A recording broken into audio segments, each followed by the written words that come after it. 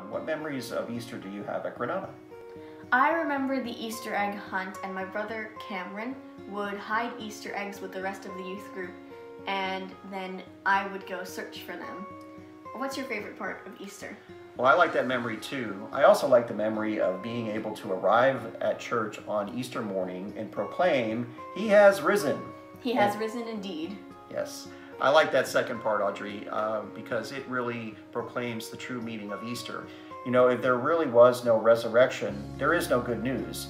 I remember one time uh, when Luca was three years old and we had just uh, had breakfast and we explained to him what is what the story of Easter is and how Jesus died on the cross and resurrected and that we you know can believe in him and profess our faith in him and then uh, he he finished the talk by saying daddy and then we do this right?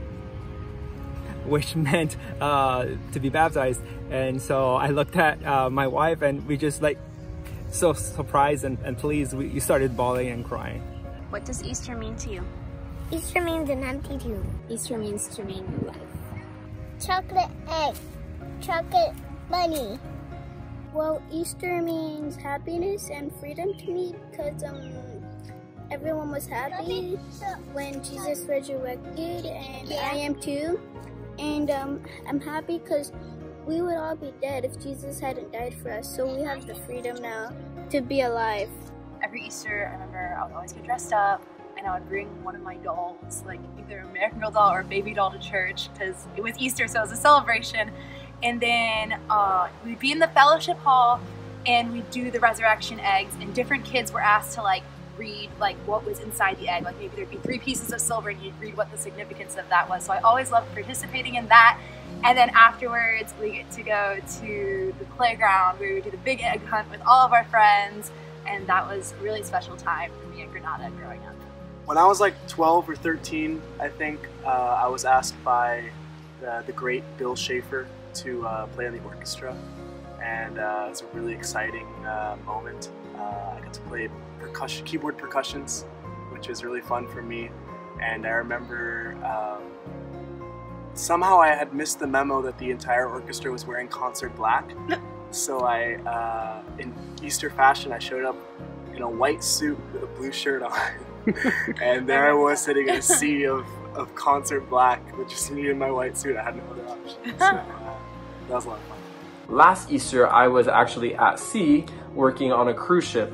And I remember that being a really weird Easter for me because it was the first time in my life that I, that I can remember at least um, that I was not at church for Easter and that I wasn't with family. And so I remember just feeling really isolated and separated and um, just missing my my church community and missing uh, my friends and my family, and it, and it was a weird experience. Um, and I think to now to this Easter, and that's kind of the emotions that many of us are feeling right now is isolated and separated and, and disconnected. Uh, but I love that Easter is really a time for us to remember the resurrection of Jesus and what that means for us, that we can now uh, have an eternal relationship with God, and that that is something that nothing can separate us from. No isolation, no social distancing can separate us from the love of God. Easter mean?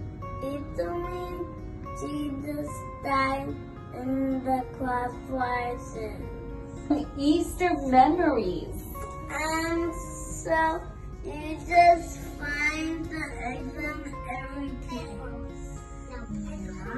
And what do you do with the eggs? You put them in the basket. Noah, what do you do with the eggs? What do you do?